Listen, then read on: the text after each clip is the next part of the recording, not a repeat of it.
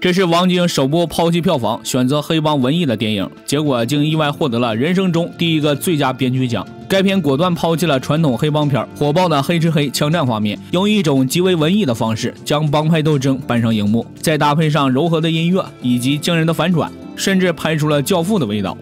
影片开始，王晶就下了个大包袱。一个普通的不能再普通的杂货铺，居然有五六个伙计。突然的一个挂着有损坏字样的电话忽然响起。从阿东的口中，我们得知这个电话呢已经坏了十几年了。此时，老板柴叔突然从屋里冲出来，接起了电话。其实，柴叔和阿东几人并不是普通的店铺伙计，而是由黑帮供养的杀手。只是这件事呢，只有柴叔知道而已。这时，画面突然转到警局，香港最大社团龙头龙四登场。这里致敬了《无间道》，只不过换成了警察吃饭，老大抽烟。因为这个米 Sir 能走到今天，全靠龙四扶持。之后通过米 Sir 的口述，说出了贯穿全片的大阴谋：有人要杀龙四。这伙人呢，身份不明。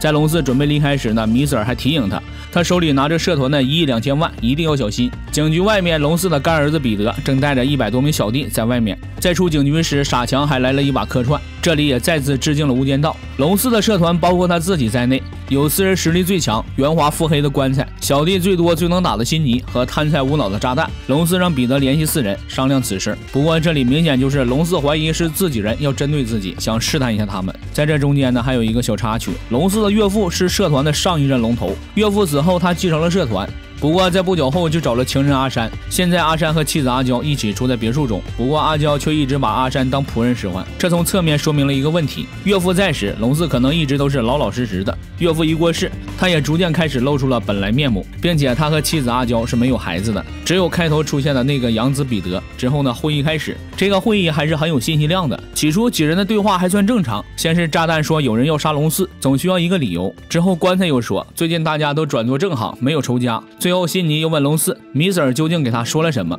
见几人都没有露出破绽，龙四又开始了进一步试探。他准备把手上的一亿两千万公款和自己的地盘拿出来，大家平分。不过呢，要留一份给干儿子彼得。这时呢，其余三人才露出了狐狸尾巴。首先是辛尼，他在刚听到分钱时，赶紧给龙四倒茶。可当听到彼得也有一份时，明显不高兴了。彼得凭什么分社团的钱？之后顺手呢，便将茶给了炸弹一杯。接着炸弹也表了态，彼得也没有给社团立过功，凭什么分钱？之后表态的是棺材。彼得年龄太小，应该先将他的财产交给自己保管。不过接下来呢，龙四立刻就收回了成命，他根本就没打算分钱。得知自己被耍呢，辛尼气得直接离开。从影片目前给出的线索来看，有人为了那一亿两千万准备对龙四动手，而这个人很有可能就在辛尼、棺材和炸弹三人之中。之后镜头再次来到杂货铺，接完电话后的柴叔向几人交代了任务。原来他们都是龙四供养的杀手，现在有人要取龙四的性命，需要他们几个生面孔潜伏在龙四周围，保护他的安全。之后呢，几人按照吩咐住进了酒店，但当天晚上就有一群打手将几人劫持，逼问他们的身份。不过以我们的视角来看，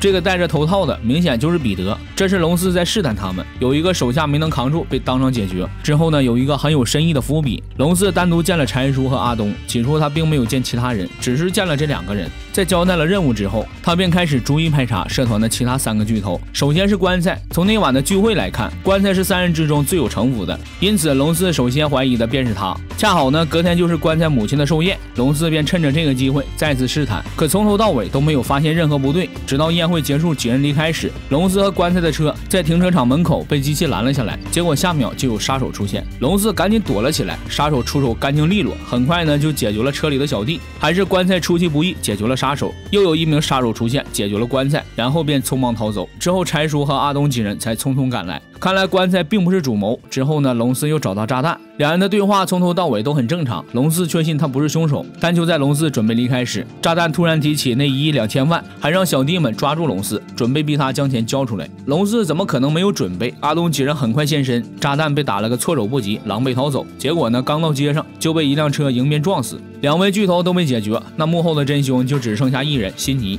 不过辛尼的小弟最多，保护严密，并且他本人也十分能打，连本地的拳王呢都不是对手。几人又该怎么下手呢？此时阿东站了出来。他有办法干掉辛尼。至于阿东的具体手段，电影并没有展示，但从这个片段可以看出来，阿东将定时炸弹藏到了辛尼的木桩中，结果辛尼在毫不知情的情况下被炸成了重伤。之后呢，龙四又安排人假冒医护人员，将辛尼拉到了荒郊野外，由阿东亲自出手杀死了他。注意，这里有一个细节：彼得在擦指纹时，故意只擦了枪头，而没有擦枪托。在之后彼得和龙四的对话中，我们知道这是龙四故意安排的，为的就是让阿东入狱。现在所有的障碍都已经清除，龙四也只有彼得这一个继承人。按照正常的剧情发展，龙四应该也已经开始着手准备让彼得继承社团以及那一亿两千万。但时间一天天过去，龙四不仅没有一点传位给他的迹象，反倒关心起了阿东的案子。彼得起了疑心。他开始怀疑阿东的身份，于是便找到养母阿娇，询问龙四在结婚前有没有过情人。至于结果呢，影片并没有交代。不过紧接着就发生了意外，阿东在街头呢莫名被人枪击，女友帮他挡住了子弹，惨死街头。龙四和柴叔意识到事情不简单，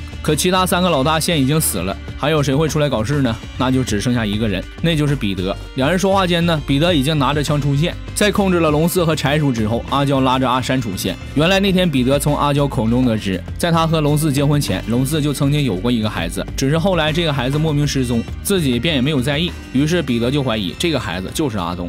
龙四让阿东入狱，就是想让他替社团出头，好在出狱后继承龙头的位置。在猜到龙四的安排之后，彼得便和阿娇合谋，他得权继承社团龙头，阿娇得钱要那一亿两千万。顺手再除掉阿山，这样也算给阿娇出了口气。之后，彼得也终于知道了真相：阿东的确是龙四的儿子。二十多年前，龙四和前女友有了孩子，已入社团多年的他深知黑道险恶，于是便让柴叔退出江湖，并把孩子交给他抚养。之后，龙四转身踏入江湖，为自己和孩子杀出一条血路。而最近以来所发生的一切，都是龙四安排的。其实哪里有什么人要杀龙四？整件事一开始就是龙四自导自演的一出戏。他故意意放出有人要杀自己的消息，然后再通过米斯尔说出来。让社团的人深信不疑，之后再以此为由头排除异己，杀死社团中和自己有一心的其他三个元老。关于这点，影片中是有暗示的。首先，在棺材被抢走后，杀手并没有对龙四动手，而是直接逃了。如果说杀手的目标是龙四，又怎么会直接逃走？其次就是炸弹的死，他刚刚跳到街上，就恰好被车撞死，而且肇事车辆头也不回的就逃走了，甚至都没有减速。之后再将杀人的罪名扣在悉尼头上，让阿东除掉他，再替社团入狱，这样在出狱后，他就能凭此继承龙头之位。真相终于大白，龙四的城府之深，令在场的所有人都心生寒意。原来他从来都没有打算退位，更不可能将那一亿两千万拿出来。龙龙头老大的位置以及社团的公款，一开始就只能是一个人的。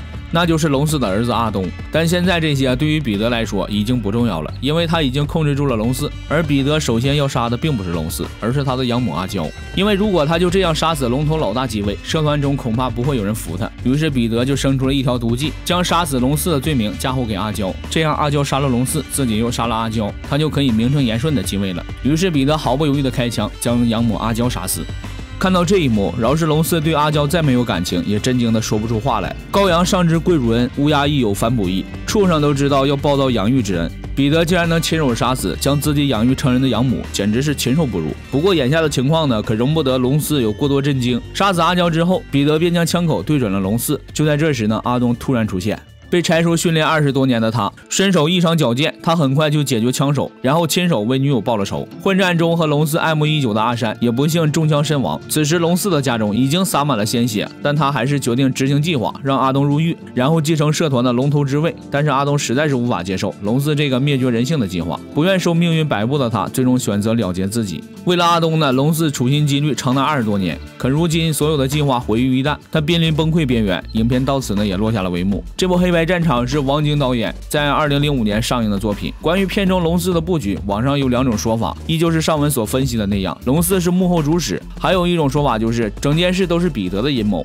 他先是放出有人要杀龙四的消息，让龙四怀疑社团中的其他元老，之后派杀手干掉棺材，这样龙四自然而然的就开始怀疑炸弹和辛尼。在调查过程中呢，炸弹为了那一亿两千万对龙四动手，龙四顺手将他除掉后，也确认炸弹不是幕后真凶，那怀疑的对象就只剩下辛尼。于是辛尼不出意外的就被干掉。这三人死后呢，龙四自然会把他们的地盘拿出一部分，甚至是一大部分交给彼得管理。而此时社团中有能力继任龙头的也只剩下他了。但千算万算，没有算到龙四还有一个儿子阿东，于是只能提前出手干掉龙四，强行上位。关于这两种说法，其实小董还是比较倾向于第一种的。在电影的开始，试探阿东几人就是彼得带的队，就是说他一开始就知道柴叔和阿东这几个人的存在。如果彼得是幕后主使，那他在动手前一定会先除掉柴叔几人，削弱龙四的力量，而不是放任柴叔、阿东这些变数活到最后出来阻止自己的计划。关于这一点，屏幕前的小伙伴是怎么看的呢？欢迎大家在评论区讨论。